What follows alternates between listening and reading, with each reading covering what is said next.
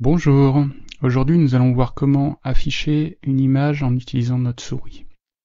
Alors pour notre exemple on a donc deux fichiers, donc le script euh, Python et euh, le petit panda, donc l'image euh, qu'on veut afficher. Donc c'est une image JPEG. voilà, on démarre le script, on va regarder le fonctionnement de ce script de notre exemple. Voilà, donc on a donc une une fenêtre qui s'affiche. Quand j'enfonce le bouton de ma souris, euh, l'image s'affiche. Dès que je relâche, euh, l'image ne, s'affiche plus. Donc c'est à l'endroit où je suis. D'accord? Alors ce que je peux aussi faire, c'est enfoncer mon bouton de souris, le laisser enfoncer, déplacer ma souris. Donc l'image euh, s'affiche à l'endroit où il y a le curseur de la souris. Et dès que je relâche le bouton de la souris, hop, l'image ne s'affiche plus. Et donc ça, ça se fait indéfiniment jusqu'à ce qu'on quitte notre programme. Alors, il y a une des difficultés dans ce, dans ce programme-là, c'est de comprendre comment on va représenter donc l'état de notre souris, c'est-à-dire euh, euh, où elle est. Donc là, elle est en mouvement, le bouton il est relevé. Si j'enfonce euh, le bouton de la souris, bah là, il y a eu un changement d'état. Maintenant, ma souris est dans un autre état. Elle est à une certaine position avec le bouton enfoncé. Voilà, donc une difficulté, c'est de représenter ça. Alors pour représenter ça, une, bonne manière de faire, c'est d'utiliser ce qu'on appelle un graphe d'état. Donc là, on va dire, voilà, j'ai deux états possibles finalement euh, dans, mon programme, dans mon script. C'est le premier état, l'image est cachée. Hein. donc quand on commence, on, cache l'image. La personne, qu'est-ce qu'elle peut faire avec sa souris? Elle peut la déplacer, donc faire un événement motion. Et dans ce cas-là, l'image n'est toujours pas affichée. Hein, c'est pas ça qui déclenche euh, l'affichage de l'image. Et quand on fait un down, quand on a l'événement down qui est euh, game, on va donc quand on enfonce le bouton de souris, là on change d'état. Et maintenant on dit bah voilà, quand le bouton de la souris est enfoncé, on va afficher l'image. Dans cet état-là, si on bouge, eh ben, il va falloir qu'on mette à jour la position de l'image et qu'on continue à l'afficher. Voilà. Et le jour où on fait un up, c'est-à-dire on relâche le bouton euh, de la souris, on cache à nouveau euh, l'image. Et après, on peut arrêter le jeu, euh, le jeu, enfin, on peut arrêter le programme quand on est dans, quand l'image elle est cachée, en allant cliquer sur le, la case pour quitter, et pareil, lorsque l'image est affichée. Donc c'est ça qu'il va falloir représenter. Alors là, comme on n'a que deux états, naturellement, ce qu'on va faire, c'est qu'on va utiliser un booléen pour dire, euh, par exemple, si c'est true, false ou false true. Donc on va regarder dans le programme ce qui a été choisi. Alors là, hop, j'arrête.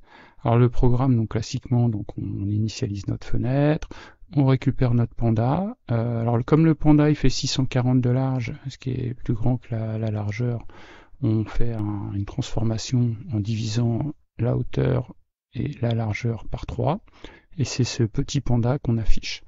Alors l'idée c'est de dire afficher panda, donc c'est notre variable booléenne qui représente notre état, elle est false initialement, hein, ce qui correspond à on est ici. Alors après qu'est-ce qu'on fait? Euh, donc on a la position du panda, on la met à 0, 0. C'est pas grave, hein, quand le panda il est pas affiché, on, se moque de, savoir quelle est la, position. Pour boucler, on a notre continué. Donc là, on rentre dans notre boucle de traitement des événements. Alors qu'est-ce qu'on fait dans cette boucle de traitement des événements? C'est on gère tous les événements qui sont fil d'attente. Donc on va revenir dessus. Hein. Ensuite, qu'est-ce qu'on fait? On affiche la couleur de fond.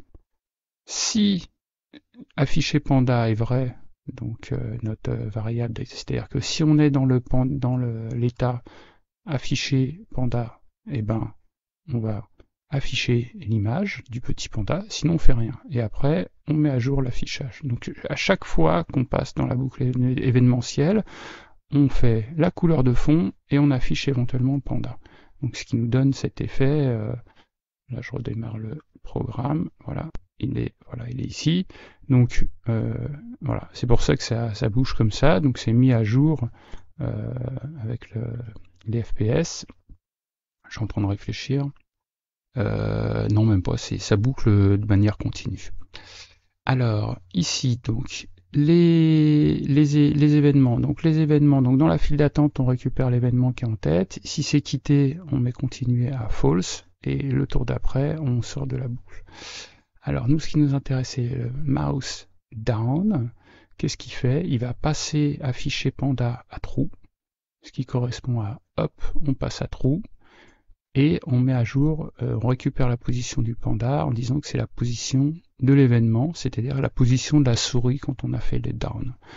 Quand on fait un motion, on ne change pas l'état, donc soit on est ici en boucle indéfiniment, soit on est ici en boucle, et donc on se contente de mettre à jour la position euh, du panda en fonction de où est fait le, motion, où est, où est la souris, où elle se déplace, ben on récupère les coordonnées.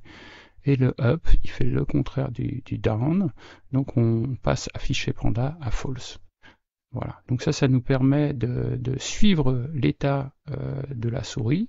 On l'a représenté par euh, des variables et après, ici, quand on redessine l'intégralité de la fenêtre, quand on remplit à nouveau, donc on va faire couleur de fond et on affichera ou non euh, le panda. Bah écoutez, euh, voilà, on a notre objectif, on a réussi à afficher notre petit panda en utilisant euh, notre souris. Donc sur ce, bah, je vous dis merci pour votre attention et je vous dis à bientôt. Au revoir.